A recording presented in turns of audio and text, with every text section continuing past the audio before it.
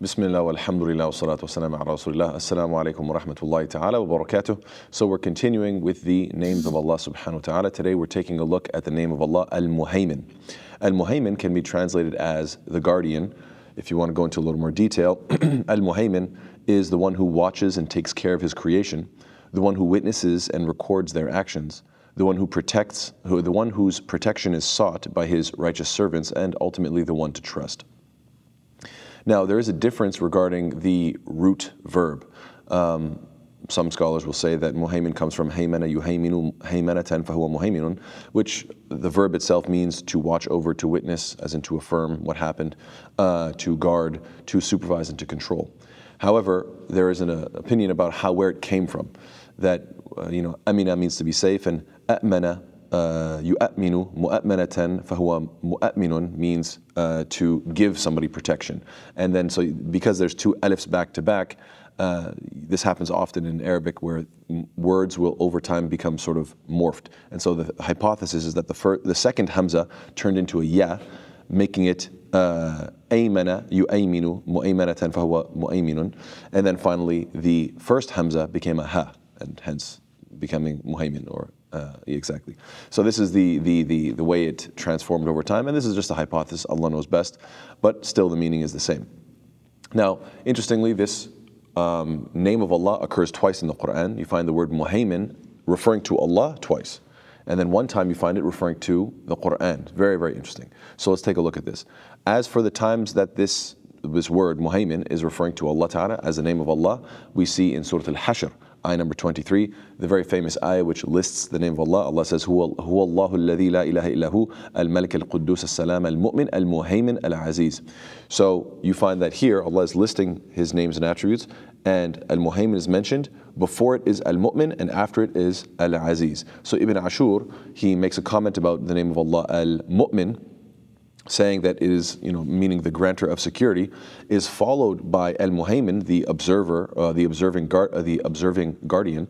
Uh, why? To emphasize that Allah's security is resulting from His perfect knowledge. In other words, I grant perfect security and I'm overseeing everything. I'm not granting security based on ignorance, therefore it won't fail in terms of a failure of information. No, rather, this security is being uh, granted based on perfect knowledge, wisdom, and power over all circumstances. And, you know, we find many ayat that emphasize this point that Allah Ta'ala is watching over everyone, whether they're good or bad. For example, Allah says, وَلَا تَحْسَبَنَّ, وَلَا تَحْسَبَنَّ اللَّهَ غَافِلًا عَمَّا يَعْمَلُ الظَّالِمِينَ And never think that Allah is unaware of what the wrongdoers are doing. So again, you find this idea that Allah Ta'ala is observing everything. Furthermore, we know in the story of Musa and Khidr alayhi salam, Allah mentions what? وَكَانَ أَبُوهُمَا صَالِحًا فَأَرَادَ رَبُّكَ أَن يَبْلُغَا أشد أشد أشدهما ويستخرج كنزهما رحمة من ربك. That Allah Ta'ala says, that because he was an overseer and an overwatcher, Allah Ta'ala is mentioning what? That their father had been righteous in the past, talking about these two orphans. Their father from long ago who had, was gone was a righteous person, so your Lord intended that they reach maturity and extract their treasure as a mercy from your Lord. So subhanAllah, Allah Ta'ala is emphasizing that, look, I see the whole big picture and I know how to dispense of my mercy in the best of ways. Now, that's in regards to, you know, you have Al-Mu'min, Al-Muhaymin, Al-Aziz. The name Al-Muhaymin is followed by Al-Aziz, the Almighty, to confirm that Allah's protection cannot be overpowered by anything. So this is the name of Allah mentioned Al-Muhaymin in Surah Al-Hashr. What about um, a second time, you find that this is being mentioned, excuse me, it's only mentioned twice, one time as the name of Allah and one time as the name uh, uh, describing the Quran. Excuse me, I said that incorrectly. So now, regarding uh, the mention of Al-Muhaymin, the use of the word Al-Muhaymin as the Quran, Allah says what? وَأَنزَلْنَا إِلَيْكَ الْكِتَابَ بِالْحَقِّ مُصَدِّقًا لِمَا بَيْنَ يَدَيْهِ مِنَ الْكِتَابِ وَمُهَيْمِنًا عَلَيْهِ Very, very interesting ayah. Allah says what? And we have revealed to you, O Muhammad the book in truth, confirming that which preceded it of the scripture and as a criterion over it. So Allah Ta'ala is saying, look, there were previous scriptures of the past, whether we're talking about a Torah, the Torah, Al-Injil, the Gospel, uh, from Musa salam and Isa salam, respectively. And Allah is saying that now this Quran is coming, confirming that which preceded it of the scripture, and it's a criterion, it's a muhaymin. You could say it's this overwatcher, this overseer, this protector. How, how therefore, is it a muhaymin alayh? How is it a muhaymin? So, what is this referring to? Number one, it could be referring to the fact that the Quran is a confirmation of what the past scriptures taught. It's preserving their message uh, that the past prophets received and confirming their miracles, making sure that these are not just forgotten in history, rather, they are indeed true. And to be a miracle itself, as the Quran is, and attested, attesting and witnessing to the truth. So, that is one meaning here of the fact that the Quran is muhaymin. Now, a second meaning is that the Quran is being a protector or a clarifier.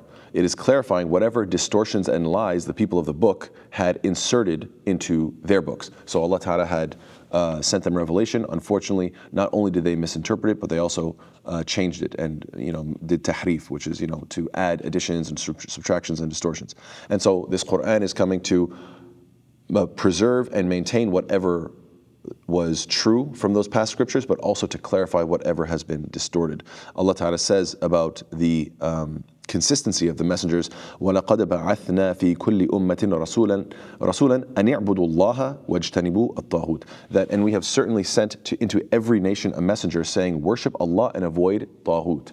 So this is a statement of Allah Ta'ala saying, look, we, every messenger taught the same thing. So if, if past nations lied about their messengers, all of that is false. They all taught to worship one God and to avoid uh.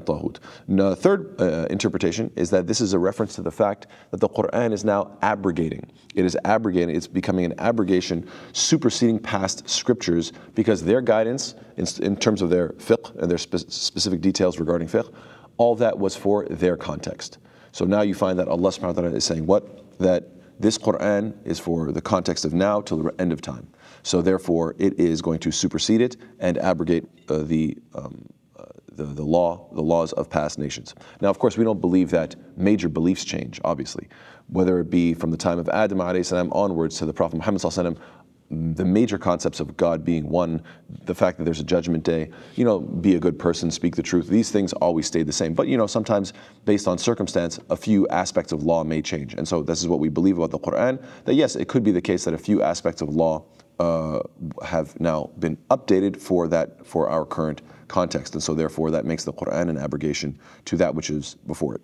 Number four is that since Allah Ta'ala is addressing the Prophet in this verse, Allah Ta'ala is speaking to his messenger, it could be that Allah is actually telling the Prophet that he is in the state, or he's in the hal, you could say, of being muhaymin, the confirmation or the clarifier or the protector alayhi over the Quran.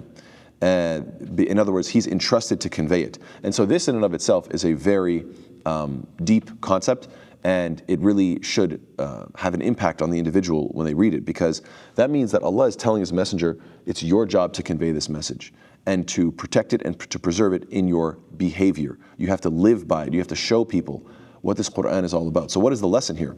The lesson is that Allah chose the Prophet to convey this Quran to the Sahaba. Of course, the Sahaba, it was their job to, con- uh, and they had the honor of conveying it and delivering it to the Tabi'een, the next generation. And this continued generation after generation. The Quran was continuously taught, not just through word, but through action uh, until today. And so that means that we are all the recipients alive today, receiving the Quran from the culmination of all these past nations. So the big question is will Allah Ta'ala use you and I?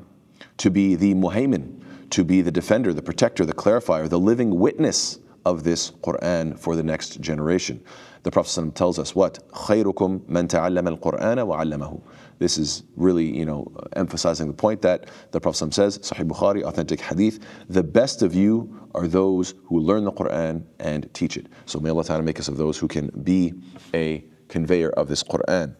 Now, what effect does this name of Allah, Al Muhaymin, have upon the believer? There are a number of points. I just like to mention a few. Number one, we have a duty to watch over and protect the ummah. We know that Allah is the ultimate Al Muhaymin, the ultimate guardian, the one who is overwatching and protecting this ummah. We should feel a sense of obligation and, and responsibility to also, to whatever extent we can, of course, uh, try to take care of this ummah. The Prophet has a very interesting statement in Adab al-Mufrad, um, the Prophet says, "Al-mu'minu alladhi yukhalitu an-nas wa yasbir ala adahum khayrun min alladhi la yukhalitu an-nas wa la yasbir ala adahum." That the believer who mixes with the people and endures their harm is better than the person who does not mix with the people and nor does he endure their harm. So what is this statement saying? The statement is saying, yes, some people might be tempted and say, I'm going to break away from humanity. I'm going to live, you know, like a a hermit or something. I'm just going to worship my Lord and only focus on me because that's the best way that I can protect my faith.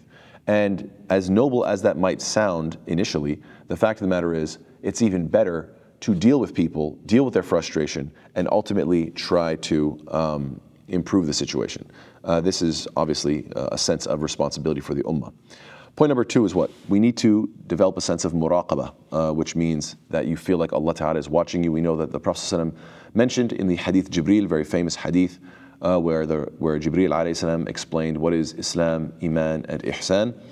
Specifically, when defining Ihsan or excellence, Jibril salam told the Prophet أن تعبد الله كأنك تراه فإن لم تكن تراه فإنه يراك that ihsan or excellence is that you worship Allah as if you are seeing Him uh, for though you do not see him, verily he sees you.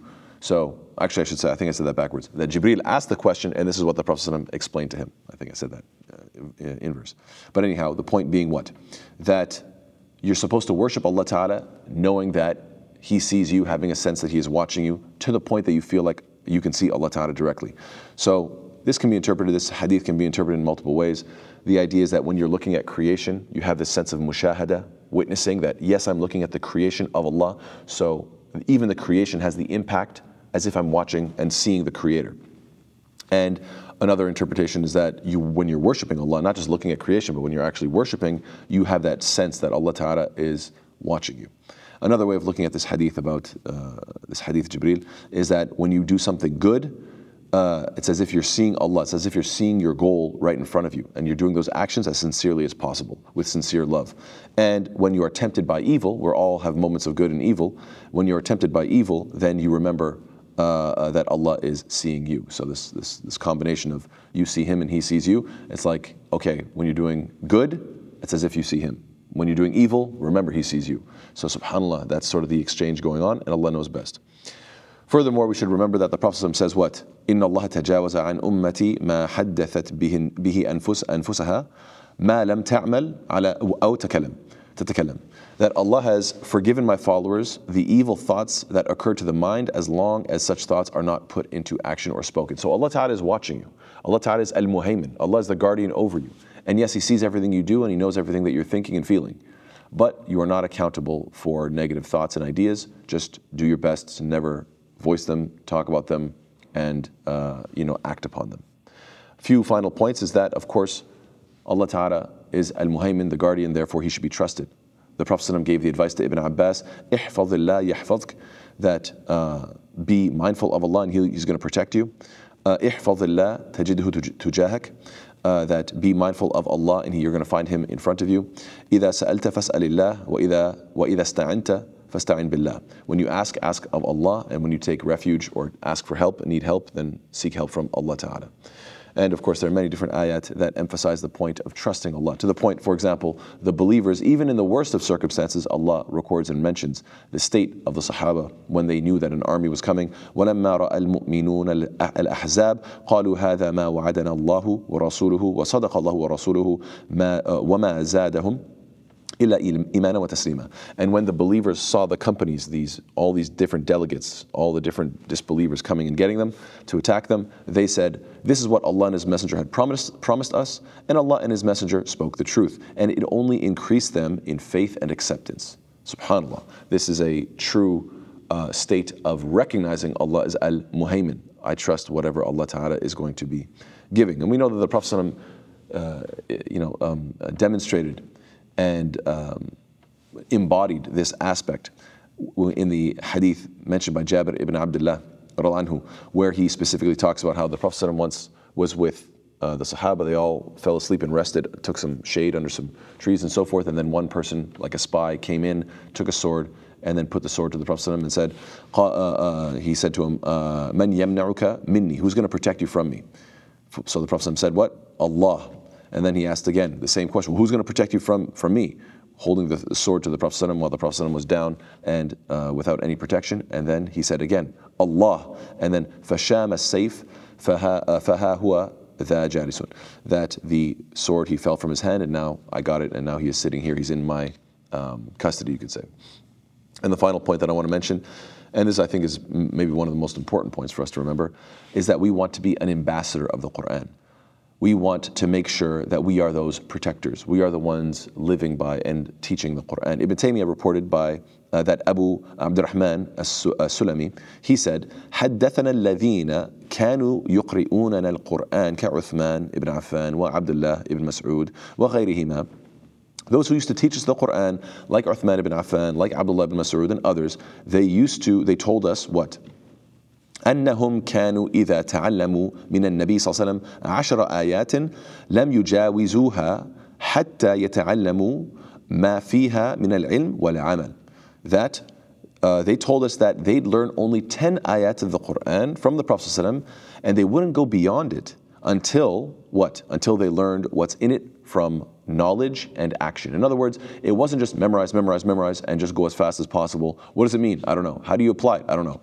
The Sahaba, subhanAllah, patient, memorizing 10 ayat. We're not going to go past until I understand every word in here, the application of it, how I can how I can start living by it. Subhanallah, may Allah Ta'ala make us of the type of people who take the Quran seriously. So what should we do? We want to read and memorize and apply and teach and live by the Quran, just as this Quran is a muhaymin, a protection of the truth, so too you and I, inshallah ta'ala, will become a protector of the truth, attesting to what is right and rebuking what is wrong, uh, like a light in the darkness wherever you go. So may Allah ta'ala make us this protector of the truth. Ameen ya Rabbil Alameen. And inshallah ta'ala, with that we close.